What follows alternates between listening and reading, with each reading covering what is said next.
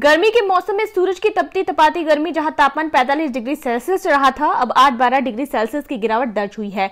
गर्मी से लोग परेशान थे, अचानक मौसम ने करवट ली। सोमवार सुबह छह बजे काला अंधेरा छा गया और तेज तूफानी आंधी शुरू हो गई। पूरे दिन धूल उड़ती रही। शाम सात बजे रामगढ़ शहर में अचानक तेज अंधड़ तूफ़ान के साथ ओले गिरे और तेज बारिश शुरू हुई, जिससे सभी रामगढ़ वासियों को गर्मी से राहत ज़रूर मिली, लेकिन कुछ जगहों पर भारी नुकसान भी हुआ। कई पेड़ गिरे तो कई बिजली के पोल, जिनके कारण से बिजली गुल रही। कई पक्षी बेघर हुए तो कई मौत के शिकार हुए। कितनों की टीन शेड छपरे उड़ गए लोग पानी व बिजली न होने के कारण परेशान नज़र आए। बारिश का पानी इतना जमा हुआ कि वाहन भी फंस गए। राजस्थान के ऊपर मज़बूत साइक्लोन बना था, इसके नीचे एंटी साइक्लोन जनरेट हुआ इससे हवा की दिशा एकदम बदली और तेज अंधड़ में तब्दील हो गई। इससे देर रात थंडर एक्टिविटी शुरू हुई। इसमें सत्तर से पचहत्तर किलोमीटर प्रति घंटा की रफ्तार से आंधी चली। मौसम विभाग के अनुसार 25 व 26 मई को मौसम सामान्य रहेगा 27 मई से फिर चक्रवात की संभावना है।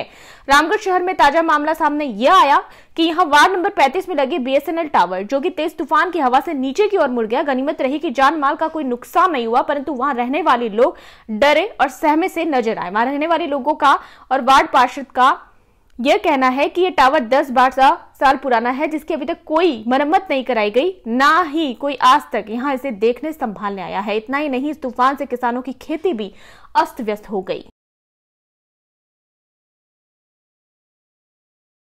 सकते हैं, एक टावर अब तूफ़ान की वजह से पूरा आधा मुड़ गया है और आसपास रह रहे लोग जन हानि से बची है माल हानि पूरी हुई है और आप देख सकते हैं यहाँ पे नीचे पशुओं को भी बांधा जाता है, जो पशुओं को रात को घर वालों ने अंदर बाँध लिया। ये यहाँ पर जो हानि हुई है, आज हम देख सकते हैं इसका जिम्मेदार कौन है। आइए हम बात करते हैं यहाँ के वार्ड पार्षद से। पार्षद सर, आपका जो ये वार्ड है, इसमें ये जो स्थिति बनी है आज, इसकी ज़िम्मेदारी वगैरह कौन लेगा? ये वार्ड नंबर 35 में जो बनाया गया था 10 से 12 साल पहले ये टावर बनाया गया था और इस दौरान इस पर कभी भी मैंने मेंटेनेंस की जो आवश्यकता महसूस होती है एक टावर के लिए, वो कभी सरकारी सुविधा के रूप में नहीं देखा है। इसके अलावा यहाँ पर बहुत सारी दिक्कत इससे पहले भी आई है। जैसे कई बार वार्ड के जो आप कहते बुल्ली टाइप के जो लड़के होते हैं, वो साइकिल वगैरह इसके ऊपर रख कर चले जाते हैं। यहाँ पर कोई एक अच्छा संरक्षक ना होने की वजह से, इसका देखभाल नहीं होने की वजह से। ये कुछ परेशानियाँ हैं। इसके अलावा अब जो परेशानी है वो बड़ी परेशानी के रूप में यहाँ पर वार्ड के जो मेरे बड़े भाई साहब हैं, यहीं पर रहते हैं। उन्होंने यहाँ पर मवेशियों के लिए बनाया है यहाँ पर एक छोटा सा छपरा। इस छपरे के पास ही में नीम है। नी, ये टावर टूटने की वजह से नीम के जो बड़ी जो डाल थी, उस डाल के ऊपर गिरने की वजह से ये दाल है, इस छपरे के ऊपर आकर गिर गई।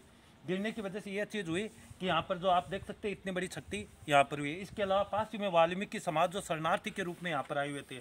मनोज जी जोरी ने यहाँ पर इस वाल्मीकि समाज को यहाँ पर रखा था और यह तो थोड़ी ईश्वर की महिमा ही कहूँगा, जिसकी वजह से ये टावर इस तरफ़, हवाओं का ज़ोर इस तरफ़ होने की वजह से उनके जो मकान के जो रहवास है, उसके ऊपर नहीं गिरने से ये कुछ जन हानि होने से बच गए। लेकिन माल हानि फिर भी हम लोग नहीं बचा पाए। ये थोड़ी सी समस्या है इसके ऊपर ध्यान करने की ज़रूरत है।